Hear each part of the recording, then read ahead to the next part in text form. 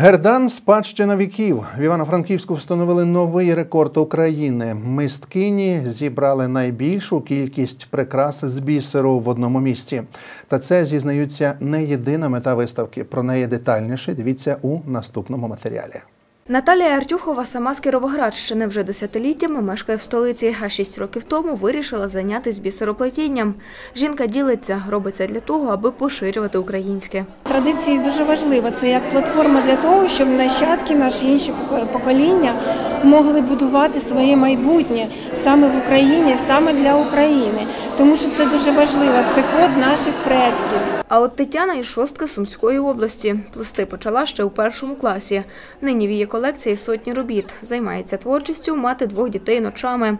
Зараз ділиться, працює на спеціальних станках. А ще недавно була одна з небагатьох, хто гердан робив вручну. Робиться полотно один рядочок, до рядочка прив'язується ще один рядочок, і так от частинками робиться, от, е, наприклад, на мені також. Кулон центральний окремо робиться, окремо робляться дві бокові частинки і задня шийка, все робиться окремо, і потім такими змійками все з'єднується. От колончики ці маленькі, великі з'єднуються частинами. Селянки це ж також вже береш і селяєш. Гердан не лише жіноча справа. Із семи років пацьорками займається й уродженець Косівщини, а нині житель Львівщини пан Степан. Творить він не лише нагрудні прикраси. На станках 66-річного чоловіка зроблені прикраси для волосся, сумки та навіть краватки з бісеру. Мені не показав ніхто ні одної бісеринки, як на селі. Я всього життя щось сам собі, сам сам. Я цим живу. Я з цього не живу. Я дуже мало заказів у мене. Ну, у мене якось два роки тому. То був такий період, що в мене багато замовили, багато забрали, зготовували це. А так я мені, ви знаєте, я, я, я цим живу. Гердан те, без чого сотні років тому українка не могла вийти з дому. Прикраса оповита сотнями легенд та традицій. Відтак прикарпатські мисткині вирішили показати та розказати про них усьому світу. Гірдан служив як е, оберегом, е, він служив як і прикрасою жіночою, і чим більше гірданів на шиї, тим більше багатка була е, дівчина.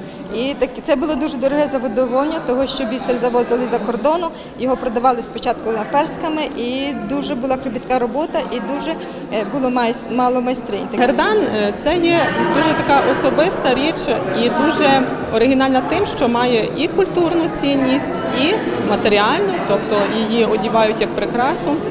І ми хотіли сьогодні показати для наших відвідувачів, яке багатство має наша батьківщина у вигляді таких прикрас і акцентувати на потребі збереження наших українських традицій, продовження їх і от, усучаснення їх. Нині 2629 герданів в одному місці – рекорд України. Ця виставка є найбільшою в Україні, тобто вперше на одній локації 2629 герданів з усіх куточків України зібрано саме тут. Це перший рекорд і одразу такий е, перший такий рекорд і одразу такий дуже високий результат. Та рекорд не є самоціллю виставки, зізнається організаторка Галина Філіпова.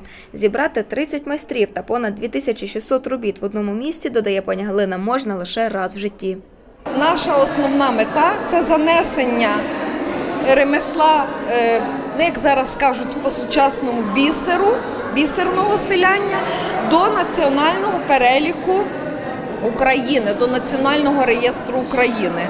Досі нам це не вдається, тому ми пішли на рекорд, щоб поставити якийсь такий гарний акорд. Роботи українських митців та мисткинь в краєзнавчому музеї будуть експонуватися впродовж всього наступного місяця.